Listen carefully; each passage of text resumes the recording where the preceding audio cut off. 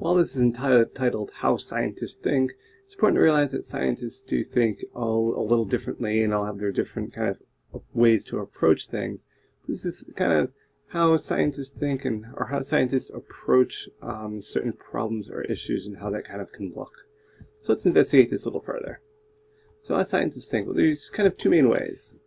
We have deductive reasoning, which involves telling stories based on patterns. This uses accepted general principles as a guide to explain specific observations. It starts out more general and progresses to become more specific.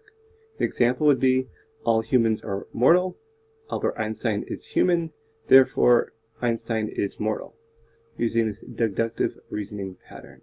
It's forming a general theory of explanation based on specific observations that have been made previously.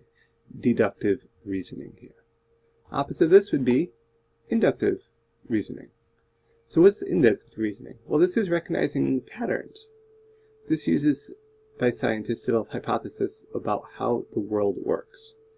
Starts with a specific observation and progresses to broader generalizations and theories.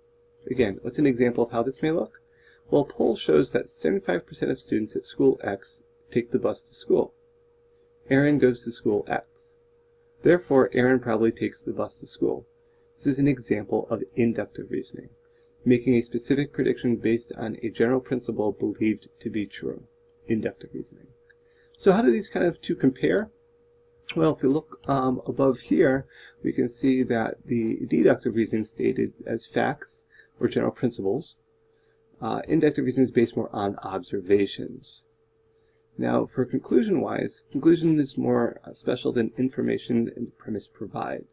This is reached directly by applying logical rules to the premise. That's deductive reasoning. Inductive, we notice these more general information that the premise provides. It's reached by a generalization of the premise information. Validity and deductive reasoning, it must be true. For inductive reasoning, it's probably true. As we saw the example there with 75% of students taking the bus.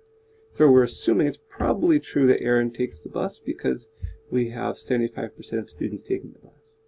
Lastly, for usage, deductive reasoning is using uh, one needs facts that are definitely true.